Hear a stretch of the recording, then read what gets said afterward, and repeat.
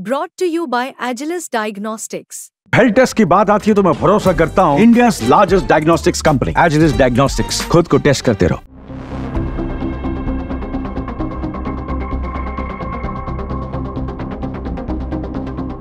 America में राष्ट्रपति Trump की वापसी हुई तो मानो यूक्रेन में भूचाल आ गया।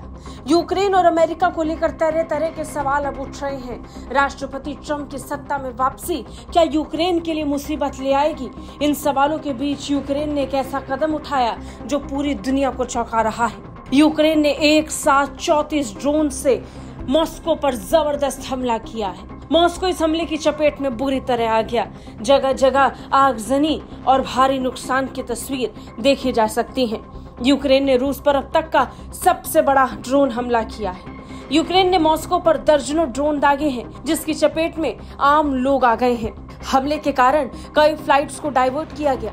रॉयटर्स की रिपोर्ट के मुताबिक यूक्रेन ने मॉस्को पर कम से कम 34 ड्रोन से हमला किया है। 2022 में हुए युद्ध के बाद से यूक्रेन का रूसी राजधानी पर ये सबसे बड़ा ड्रोन हमला है।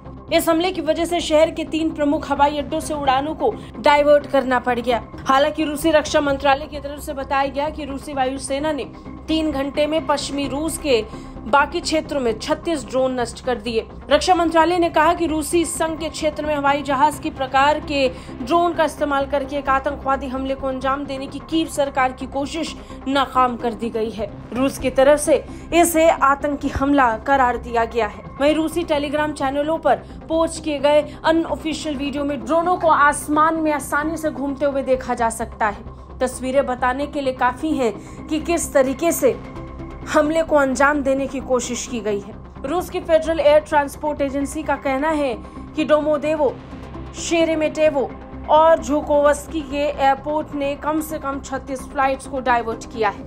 लेकिन फ्लाइट्स का संचालन फिर से शुरू कर दिया गया है। मॉस्को पर यूक्रेन द्वारा किया गया ये हमला अब तक का सबसे बड़ा हमला माना जा रहा है।